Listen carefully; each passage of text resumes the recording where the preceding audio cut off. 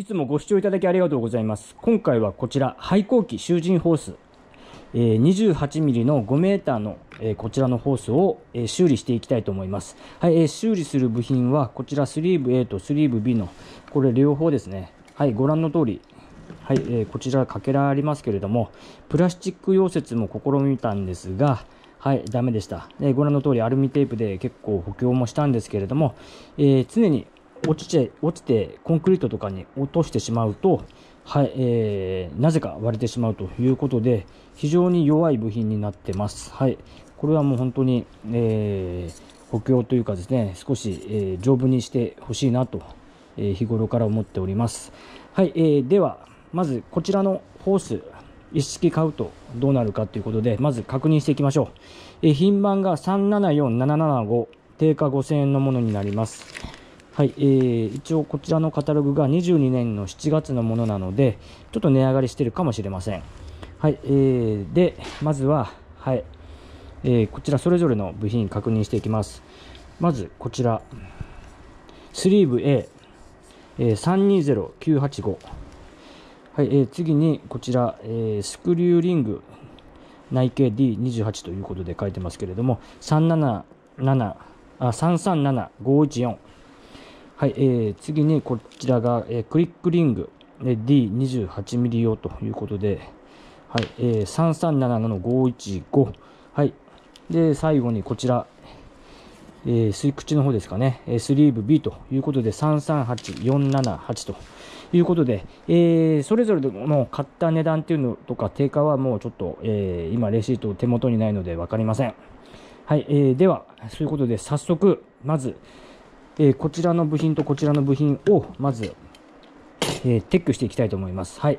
えー、まず取り外すにしてもですね、え、まあ、いわゆる破片が飛び散るのを防ぐのに、まずちょっと袋に入れてみようかなと。今回、このようにやるのは初めてなんですが、はい、袋に入れて、はい、で、こちらハンマーあるんで、まず割っていこうかなと。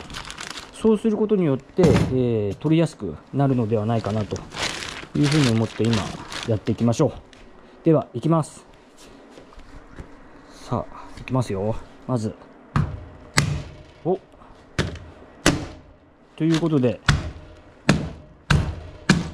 はい、えー、この部品は、こちらのね、えー、クリックリングとかも、まあ、えー、再利用できたと思うんですが、はい、えー、ちょっとね、やはり、え劣化とかそういう部分もあると思うんで、まあ、こちらは使わないでいきたいと思います。本当はね、最初、えこちらの部品だけ来たんですけども、追加でこちらも、えお願いしました。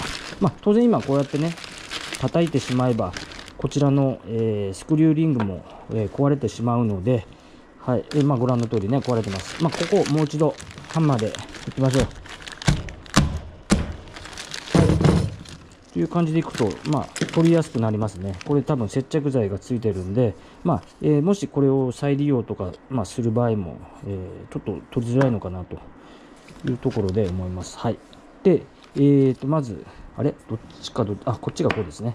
多分回転する方向とかもあると思うんで、はい、回す方向があると思うんで、右、右と左というか、えー、こちら、間違えないように。はい、ということで、このように、今、破片をですね、中、きちっと取り出しましたと。はい、っていう感じで、これ、このように、破片が袋に入ってますんで、はい、始末が楽です。はい、えー、では、やっていきましょう。はい、えー、こちらですね、ホース、えー、高圧洗浄機で、えー、きれいに洗ってますんで、はい、えー、もうこれ以上何もすることはありません。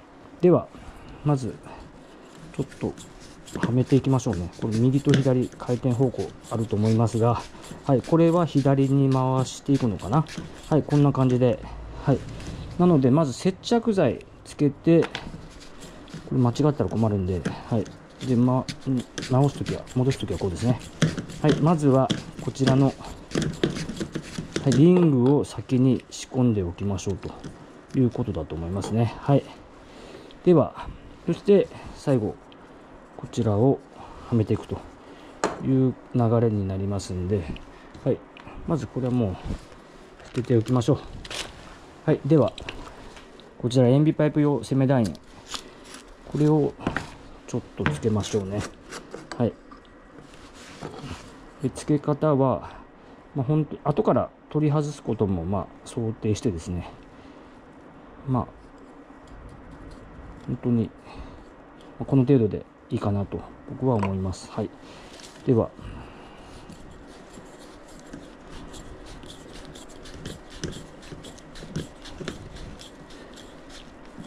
はい。いいですね。はい。そしてこれをはい。ちょっと大変な感じかな。ちょっと押しますね。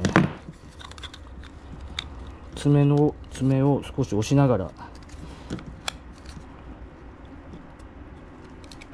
いいですね。おっともう少し力を。えー、っと。はい。よし。はいあ貼りましたね。いきますよ。はいでは。はいパチンと。いうことで、はい、こちらうまくいきましたね。はい。では次に、ちら行きましょう。はい。では同じように、まあ、こっちはですね、はい、えー、このような形で3つついてませんから1つだけなんで簡単です。はい、同じように接着剤、塩ビ用の接着剤、まあ、まあ、ちょっとだけでいいと思います。はい。で蓋を閉めてまあちょっとだけで全然僕はいいと思います。はい。で、えー、回す方向こっちかな？同じですね。はい。あおいおい。ちょっとこれ今失敗ですね。はい。大変なことが起こりましたよ。大変なことが起こりました。ちょっとまず外しましょう。外しましょうねまずね。はい。えーこれご覧の通りホースが切れてしまいました。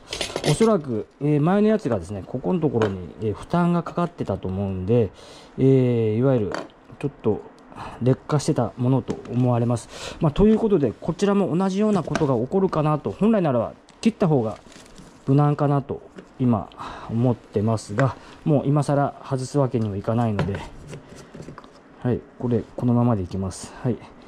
ではまたちょっとね、のり、付け直しましょう。はい。ガバーッとつけないで、ちょっと点付け程度でいいと思います。はい。で、また回しながら。はい、えー、次は折れないでちょうだいということで。はい、えー、これで OK ですね。で、はい。こちらゴムの部品ですね。これ今、えー、廃校機のホースなんですが、はい、えー、こちらマキタの工具類、まあ、このように接続します。はい、でこれ塩ビ管で作ったやつでこれ 25mm の塩ビ管 VP か VU かちょっとよく分かりませんが、はいえー、こちらをこのように、え、アルミテープで少し、えー、まああの、え、厚さを増して、まあ、はまるようにですねこうしてます。はい、でこのようにグッと、はい、入れることで、はい、えー、このサンダール、はい、はまりましたね。で、この今、接続がちょっとあれなんですが、はい、あとこちらが防塵カッター。これらもこのように、はい、うまいこと接続することができます。ということで、あのー、まあ、えー、こちらのスリーブ類、もし割れてしまった場合、えー、ホース一式なんか買わずに、まあ、こちらの部品ですね、ちゃんと番号を確認して、えー、お店に行けば、で番号を教えていただけるので、番号を確認して、そして部品を注文されるといいかなと思います。はい。とにかく、まあ、もう一回やりますけれども、これ、まあ、当然こんな叩く人なんかいませんけども、簡単に 割れてしまいます。はい。まあ、こちらも廃棄物ということで、はい、えー、こんなことで、えー、修理終わりました。以上ご視聴いただきありがとうございました。